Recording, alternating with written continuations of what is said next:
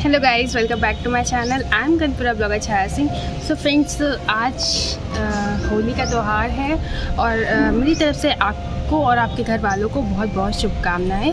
और अच्छे से होली होली सेलिब्रेट करिएगा और मैं भी बहुत अच्छे से होली सेलिब्रेट करने जा रही हूँ। और दिखाऊँगी आपको सारे ब्लॉग में कि मैंने कहाँ से स्टार्ट किया क्या क्या बनाया है और क्या क्या आ, खाऊँगी और दिखाऊँगी कि क्या क्या बन चुका है और कैसे कैसे सेलिब्रेट करेंगे। मुझे एक इवेंट में भी जाना है तो मैं वहाँ भी दिखाऊँगी आपको। और वहाँ सेलिब्रेट करेंगे आज होली। तो चलिए फिर इन्जॉय करिएगा मेरे ब्लॉग को। लाइक सब्सक्राइब करना मत भूलिएगा। मैं कनपुरिया ब्लॉगर छाया सिंह। तो इन्जॉय करिए।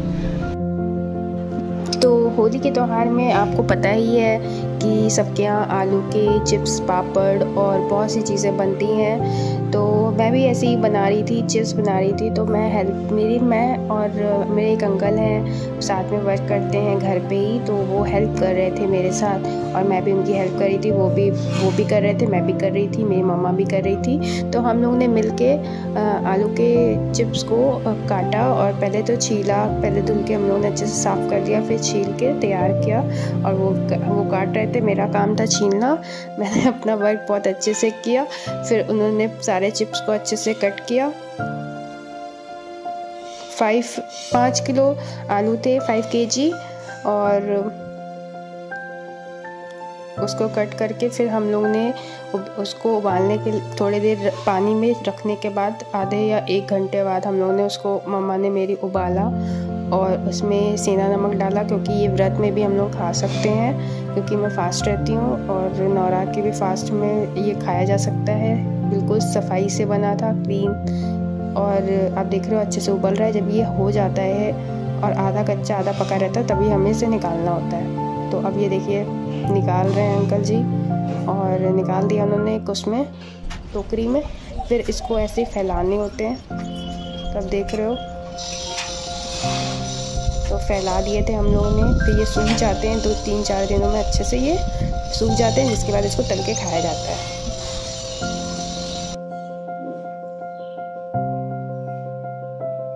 अंकल जी, मैंने सभी ने मिल के बनाए थे और ये है खोया और अब अब बनेगी गुजिया। गुजिया के लिए खोया लगता है, ड्राई फ्रूट्स और बूरा चीनी डाली गई थी और फिर ये इसका आटा तैयार किया गया था मैदे मैदे को अच्छे से घी से ग्रीस करके अच्छे से उसको गूँथ लिया गया था। उसके बाद इसके छोटे छोटे मतलब गोल से टुकड़े बना के अच्छे से उसको पतले से बेल कर फिर इसकी पूड़ियों की तरह, बिल्कुल पतली पतली पूड़ियों की तरह हमने इसको बेल लिया भुजिया बनाने के लिए। फिर सांचे में डाल के, खोया डाल के। इसको भर लिया। आपको तो पता ही होगा, आप भी बनाते होंगे अपने घर में ऐसे ही। तो ऐसे ही सिंपल तरीके से ही बन जाती है। बस ध्यान रखना पड़ता है कि अच्छे से गुजिया बनाने में एक चीज़ ध्यान रखनी पड़ती है कि इसमें सुकड़न नहीं पड़नी चाहिए, बीच में निशान नहीं पड़ना चाहिए, फिर इसको अच्छे से भर के और साइड साइड में पानी लगा के अच्छे से इसको बंद कर देना चाहिए। तो आपको पता ही है, आपके मम्मा बनाती होंगी तो हमने भी, हमने, मैंने भी ये गुजिया बनाई, हेल्प कराई, अच्छे से गुजिया बनाई। मुझे गुजिया बनानी आती है। और ऐसे बना लिया, फिर मम्मा ने उसको तल लिया। उसके बाद मैं दिखाऊँगी कि ये बनने के बाद कैसी लगेगी।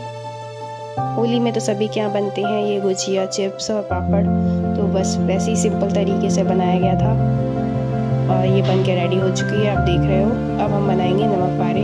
तो नमक पारे भी सिंपल तरीके से इसमें अजवाइन और नमक पड़ता है और उसको आटा गूँथ लिया जाता है और रख दिया जाता है, फिर उसको घी से कूद के, फिर अच्छे से उसको कट करके साइड साइड से उसको भी पतला बेलते हैं और कट करके पीसेस में छान लिया हम लोग ने।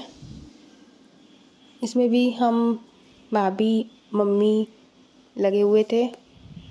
ये मीठे पारे हैं, इसको भी ऐसे बनाया जाता है, चाशनी डाल के। फिर इसके बाद हम लोग इवेंट पे गए। मैं इवेंट में गई। हमारे घर के बगल में इवेंट था, दुर्गा लॉन में। होली का बहुत बड़ा सा सेलिब्रेशन था, उसमें हम लोग गए थे। मैं, भाभी और मेरी एक फ्रेंड भी हमको वहाँ मिली। वो ब्लॉगर है फ़ूड ब्लॉगर मैं भी फ़ूड ब्लॉगर हूँ। मेरा पेज भी है के एन पी ब्लॉगर पेज है मेरा। इंस्टाग्राम पे। के एन पी ब्लॉगर से आप मुझे सर्च करिएगा। छाया सिंह नेम है मेरा, मैं मिल जाऊँगी। और ये मेरी फ्रेंड थी ब्लॉगर, हम लोग वहीं मिले थे। हम, मेरी फ्रेंडशिप हुई। काफ़ी टाइम साथ में रहे हम लोग, पूरा टाइम साथ में थे। बहुत सारा इन्जॉय किया डांस हुआ। और बस थोड़ी बहुत मस्ती करने के बाद हम लोग घर भी लौट आए। और बहुत अच्छा लगा, बहुत मज़ा आया।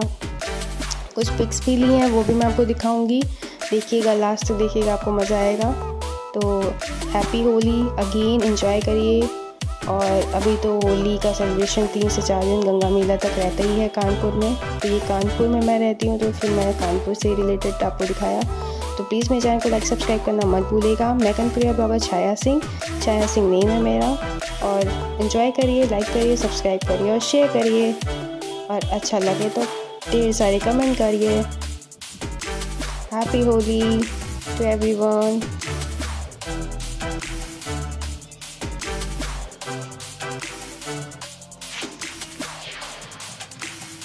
Bye bye. Thanks for watching.